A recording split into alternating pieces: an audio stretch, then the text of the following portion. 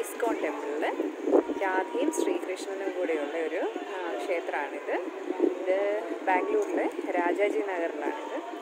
അപ്പോൾ നമുക്ക് ഇവിടുത്തെ എല്ലാ കാഴ്ചകളും ഒന്ന് കാണാം. അപ്പോൾ എല്ലാവർക്കും എന്റെ പുതിയൊരു വീഡിയോയിലേക്ക് വീണ്ടും സ്വാഗതം. ഭൂമിയിലെ ആത്മീയ സ്വർഗം എന്ന് വിശേഷിപ്പിക്കാൻ പറ്റുന്ന ഒരു ക്ഷേത്രമാണ് ബാംഗ്ലൂരിലെ രാജാജി നഗറിലുള്ള ഇസ്കോൺ ശ്രീ രാധാകൃഷ്ണ ടെമ്പിൾ. ഹരേ കൃഷ്ണ പ്രസ്ഥാനം അല്ലെങ്കിൽ ഇസ്കോൺ എന്ന മതസംഘടനയുടെ കീഴിൽ വരുന്ന ഒരു ക്ഷേത്രമാണ് ഈ രാധാകൃഷ്ണ ടെമ്പിൾ. മെയിൻ എൻട്രൻസ് കഴിഞ്ഞാൽ സൈഡിൽ ഇതുപോലത്തെ സൈൻ ബോർഡുകൾ വെച്ചിട്ടുണ്ട്.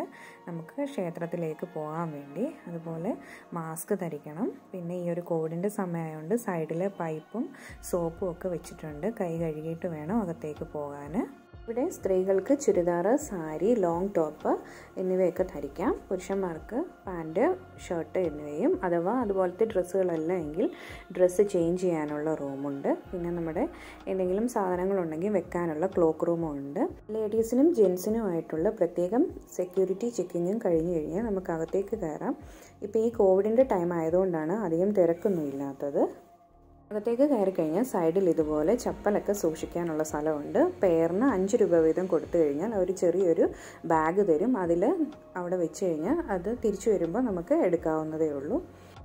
അതിനുശേഷം അകത്തേക്ക് കയറുമ്പോൾ ഇതുപോലെ ലെഗ് സാനിറ്റൈസേഷൻ ഉണ്ട്. ആ ഒരു നമ്മളകത്ത് കയറുമ്പോൾ ഈ ഒരു വെള്ളത്തിൽ കാലൊന്ന് ചെറുതായിട്ട് നനച്ചിട്ട് വേണം അകത്തേക്ക് സ്റ്റെപ്പ് കയറാൻ വേണ്ടി.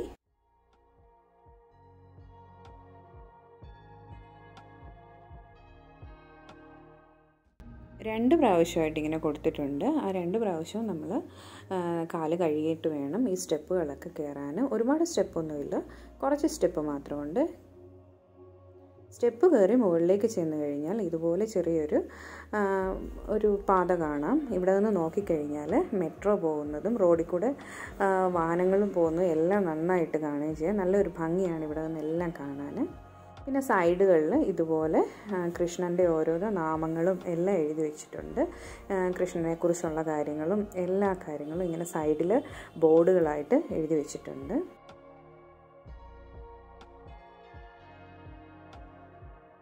ഒരുപാട് ചെടികളും പൂക്കളും എല്ലാം നിറഞ്ഞൊരു ഒരു ക്ഷേത്രമാണിത്. നല്ല ഭംഗിയാണ്.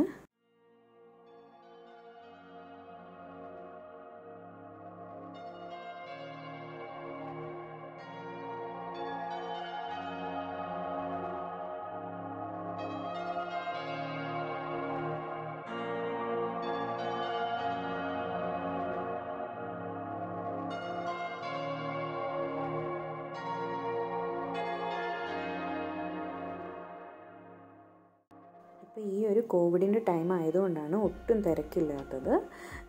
അല്ലാത്ത സമയങ്ങളിലെല്ലാം ഭയങ്കര തിരക്കാണ് ഇവിടെ. എപ്പോഴും ക്യൂ ആയിരിക്കും.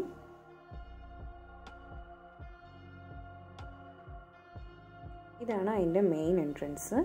ഈ ഒരു സ്റ്റെപ്പ് കയറിയാണ് നമ്മൾ മുകളിലേക്ക് ചെല്ലുന്നത്.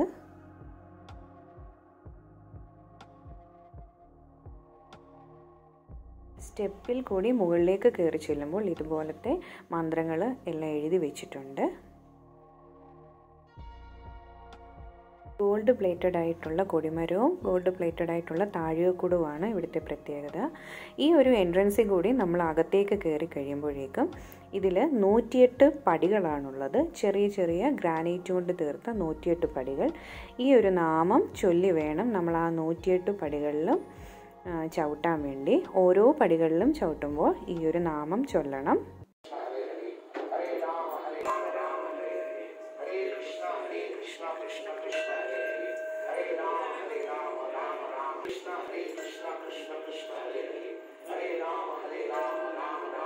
എല്ലാ ലാംഗ്വേജിലും ഉണ്ട് ഈ ഒരു മന്ത്രം. അവിടെ ഇങ്ങനെ ചൊല്ലിത്തരുന്നുണ്ട്. ആ ചൊല്ലുന്നത് നമ്മൾ ഏറ്റു ചൊല്ലിയാൽ മതി.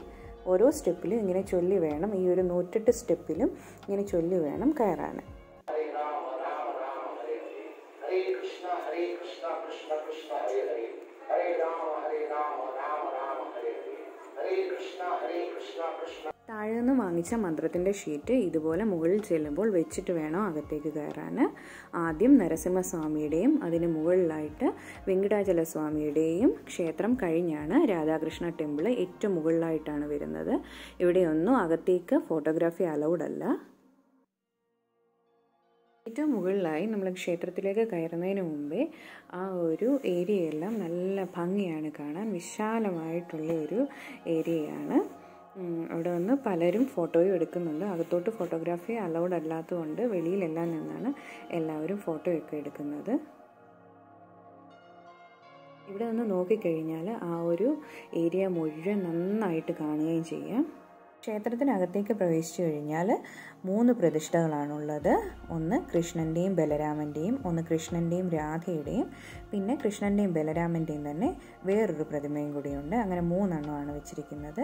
പിന്നെ സൈഡിലായിട്ട് ഈ ഒരു ഇസ്കോൺ ടെമ്പിളിന്റെ ഫൗണ്ടറായുള്ള ഭക്തി വേദാന്ത സ്വാമി പ്രഭുപാതയുടെ സ്റ്റാച്യുവും വെച്ചിട്ടുണ്ട്.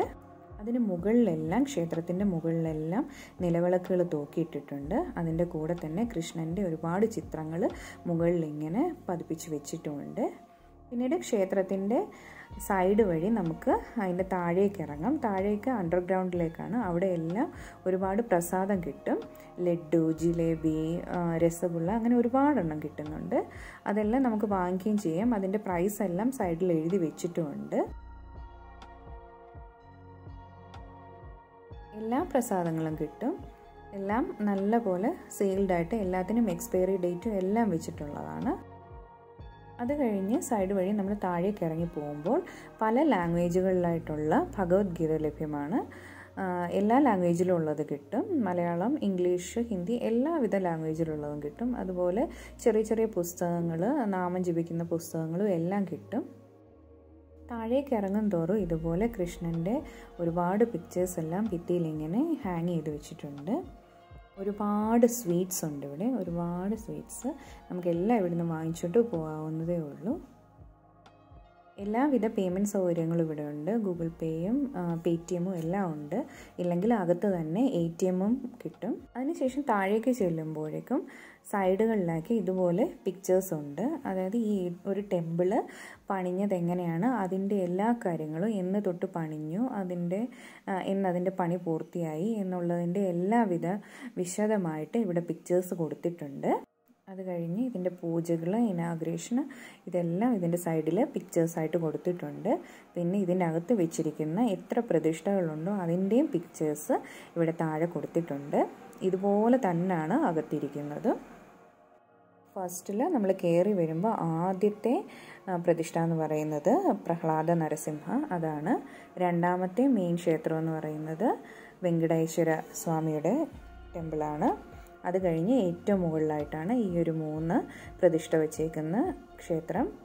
അത് ഒന്ന് രാധാകൃഷ്ണ പിന്നെ രണ്ടെണ്ണം സൈഡുകളിലായിട്ടുള്ളത് കൃഷ്ണന്റെയും ബലരാമന്റെയാണ് ഒന്ന് കൃഷ്ണനും ബലരാമനും പിന്നെ വേറെ ഒരു പേരിൽ അറിയപ്പെടുന്ന കൃഷ്ണനും ബലരാമനും. പിന്നെ ഇതാണ് ഇതിന്റെ ഫൗണ്ടർ സ്വീറ്റ്സിന് പുറമെ പിന്നെ ഇവിടെ വീട്ടിൽ വെക്കാൻ പറ്റുന്ന തരത്തിലുള്ള കുറേ അലങ്കാര വസ്തുക്കളും പിന്നെ കുഞ്ഞുങ്ങൾക്കും കുട്ടികൾക്കൊക്കെ വായിച്ച് വായിക്കാനുള്ള കൃഷ്ണന്റെയൊക്കെ കുറേ ബുക്സും പിന്നെ വീട്ടിലിങ്ങനെ തൂക്കിയിടാൻ പറ്റുന്ന കുറേ മണികൾ കുറേ അലങ്കാര വസ്തുക്കൾ എല്ലാം ഇവിടെ ഒരുപാട് കിട്ടും. വില കുറച്ച് കൂടുതലാണ്. എന്നാലും എല്ലാവിധ സാധനങ്ങളും ഇവിടെ ഉണ്ട്. പിന്നെ ഷോക്കേസിലൊക്കെ വെക്കാൻ പറ്റുന്ന തരത്തിലുള്ള ചെറിയ കൃഷ്ണന്റെ ബൊമ്മകൾ തൂക്കിയിടാൻ പറ്റുന്ന തരത്തിലുള്ള കൃഷ്ണന്റെയും രാധയുടെയും കൂടെയൊക്കെയുള്ള ഫോട്ടോകൾ പ്രതിമകൾ എല്ലാം ഇവിടെ അവൈലബിൾ ആണ്. അതിനു പുറമെ പൂജാമുറിയിലേക്ക് ഉപയോഗിക്കാൻ പറ്റുന്ന അഗർബത്തി പിന്നെ ചെറിയ ലൈറ്റ് കത്തുന്ന ട്രീ വിളക്കുകൾ ചെറിയ ചെറിയ രൂപങ്ങൾ ഇതെല്ലാം ഇവിടെ അവൈലബിൾ ആണ്. പിന്നെ ചെറിയ പേഴ്സ് കുറച്ച് കുറച്ച് വലിയ ബാഗുകൾ ടീഷർട്ടുകൾ കൃഷ്ണന്റെയൊക്കെ ഒരു ഫോട്ടോ ഉള്ള ടീഷർട്ട് കലണ്ടറുകൾ എല്ലാം അവൈലബിൾ ആണ്. ഇങ്ങനെ ഷോക്കേസിൽ വെക്കാവുന്ന പീസുകൾ എല്ലാം ഉണ്ട് ഇവിടെ. പിന്നെ എല്ലാം ഇങ്ങനത്തെ ഫുഡ് ഐറ്റംസിന്റെ സ്റ്റോളുകളാണ്. എല്ലാം സ്വീറ്റ്സ് ആണ്. പിന്നെ കർണാടകയിൽ അവൈലബിൾ ആയിട്ടുള്ള കുറച്ച് റൈസിന്റെ എല്ലാ കാര്യങ്ങളും ഇവിടെ കിട്ടും. ലെമൺ റൈസ് വാങ്കിബാത്ത് പുളിയോഗ്രാം ഇതെല്ലാം ഇവിടെ ചെറിയ ചെറിയ ഇരുപത്തഞ്ച് രൂപ കൊടുത്താൽ മതി കിട്ടും. പിന്നെ സ്വീറ്റ്സിന് പുറമെ ജ്യൂസും ഉണ്ട്. അല്ലാതെ ഇപ്പം വെള്ളം കുടിക്കണമെന്നുള്ളവർക്ക് ആ ഒരു ഫെസിലിറ്റിയും ഇവിടെ അവൈലബിൾ ആണ് ബാത്റൂം സൗകര്യവും എല്ലാം ഇവിടെ തന്നെ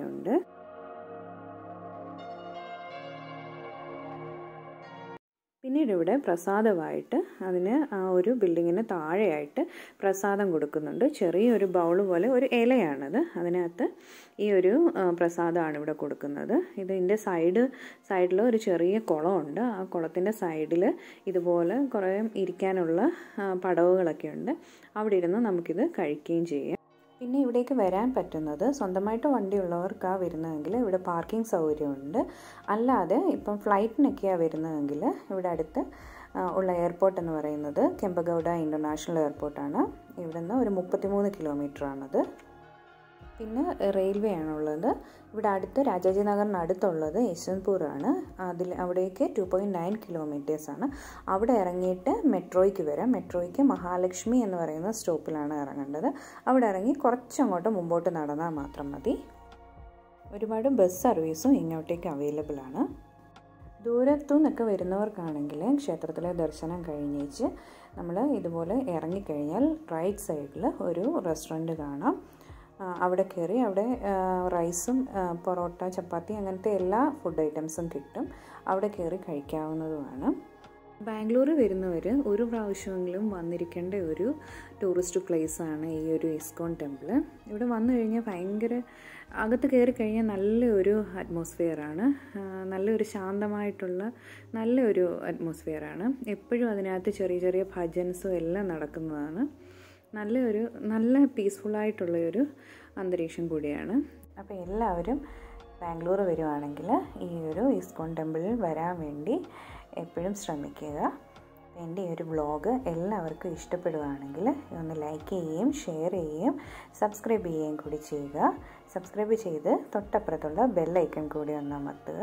അപ്പോൾ നമുക്ക് പുതിയൊരു വീഡിയോയിൽ കാണാം. Thanks for watching